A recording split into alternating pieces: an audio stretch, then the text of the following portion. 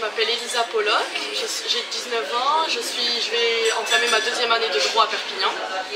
Donc pour moi, donc j'habite à Perpignan et donc pour moi l'élu idéal, ça serait un homme ou une femme. Euh, particulièrement une femme, ça serait de plus en plus mieux, de mieux en mieux euh, dans notre société, avoir de plus en plus de femmes au pouvoir, qui serait euh, ben, je dirais, qui travaillerait main à main avec nos concitoyens, avec euh, nous, maintenant les voteurs, et avec surtout, je dirais, les jeunes, parce que ça c'est nous le futur, et donc qui travaillerait avec eux et pour répondre aux questions essentielles. un, homme, un homme ou une femme, donc un homme avec un grand H, cultivé, qui serait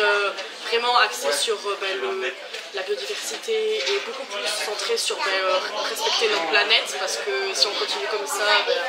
ça va vraiment pas, ça va vraiment se terminer. Et donc euh, aussi centré sur l'art pour essayer d'avoir euh, une ville euh, beaucoup mieux orientée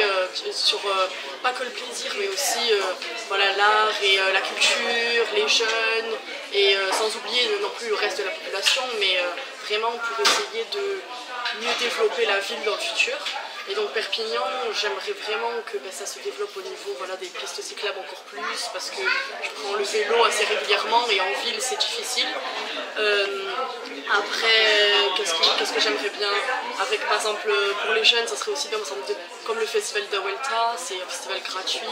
Et donc euh, c'est vraiment bien parce que ça, ça, ça, amène beaucoup de jeunes et beaucoup de familles aussi à venir euh, participer. Et ça amène tout le monde ensemble et ça ça peut poser aussi des questions sur la, notre ville et essayer de faire développer les choses. Alors la ville idéale de Perpignan, euh,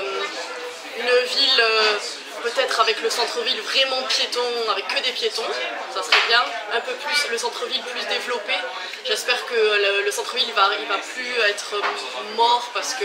tout le monde part dans les centres commerciaux, tous les magasins partent dans les centres commerciaux. Ça serait bien qu'il y ait une revitalisation de la ville parce que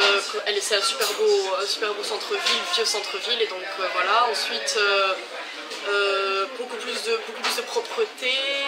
parce et aussi exemple des, des plus d'air d'air libre et de jardin et ensuite ville idéale